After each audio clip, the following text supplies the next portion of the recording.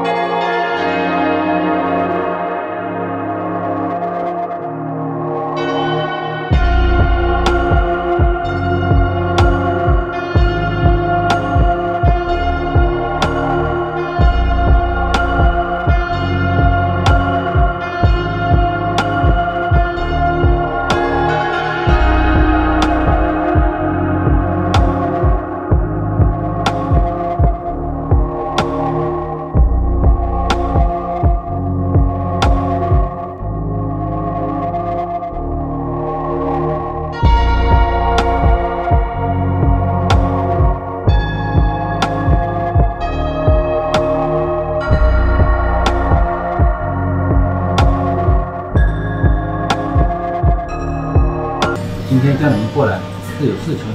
公司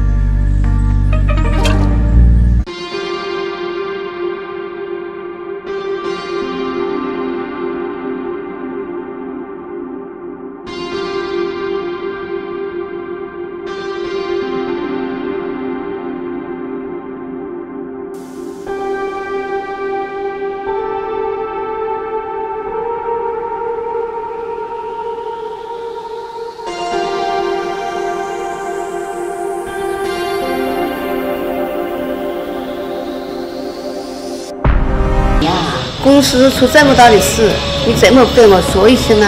他们不帮你，我帮你。心中想象着你的样子。这张卡里有五十二万，是这几年你孝顺妈的，妈一分都没动。这张卡里面有两百四十万，是妈呀，把新房子卖了。妈，你把房子卖了，你住哪？我搬回老房子住。妈，那房子那么破。儿子，房子再破，只要有妈在，那还是一个家呀、来，你拿着。妈，儿子，没有过不去的坎。妈，谢谢你。亲爱的妈妈。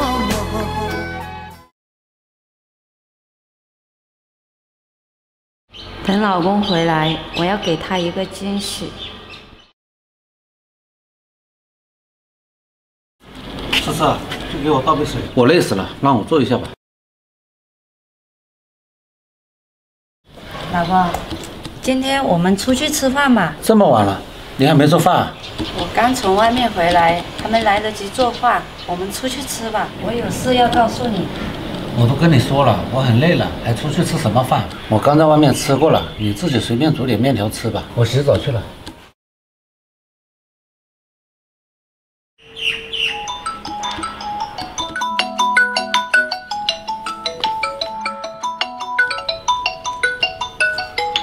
老公，电话。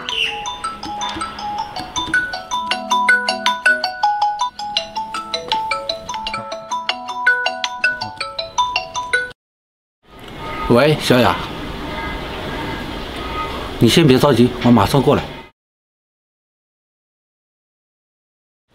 思思，我现在出去有点急事。有什么急事啊，老公？那个小雅，你知道的，她出了点事，我过去帮一下她。哦，就是你那个前女友吧？嗯。那我先走了，我等下就回来。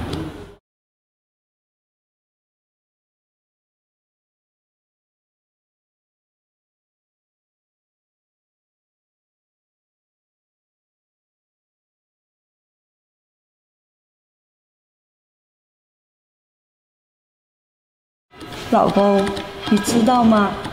我本来打算给你惊喜的，你要当爸爸了。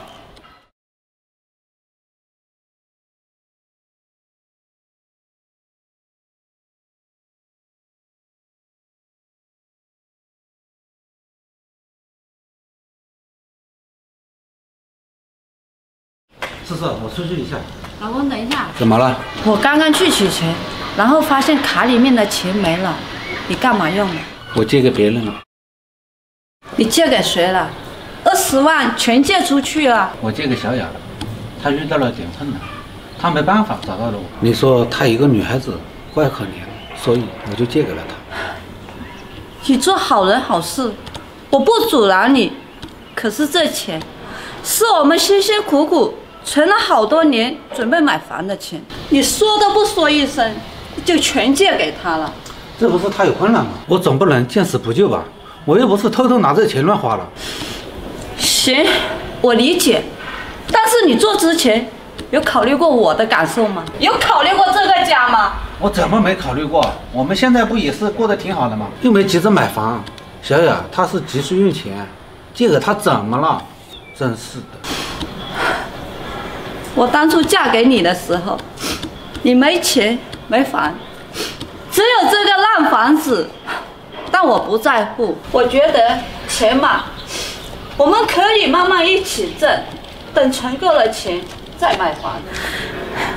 我现在突然觉得，当初的想法太天真，太可笑了。你胡说什么呢？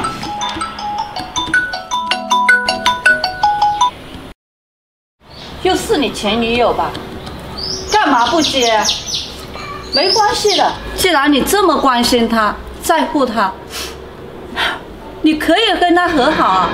我可以成全你们的。我现在跟他只是朋友，不是你想的那样。朋友，对，任何关系都不会一步到位，总得慢慢来，对吧？真是个疯女人，懒得跟你吵。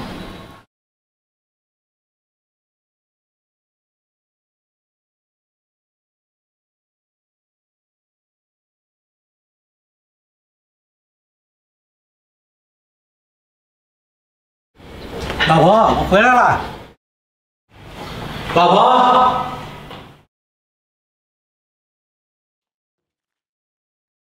哈喽，我能陪着你过苦日子，我也能容忍你没上进心，更能容忍你所有的坏脾气，因为我只想踏踏实实的跟你过日子。但是，我也是个人，我不是神。当我知道自己怀孕的那一刻，你知道我有多开心吗？我只想第一时间把这个喜悦分享给你，可是你却连这个机会都不给我，而是整天忙着其他女人的事。原谅我，实在忍不下去了，我先回娘家了，你自己好好把事情处理清楚吧。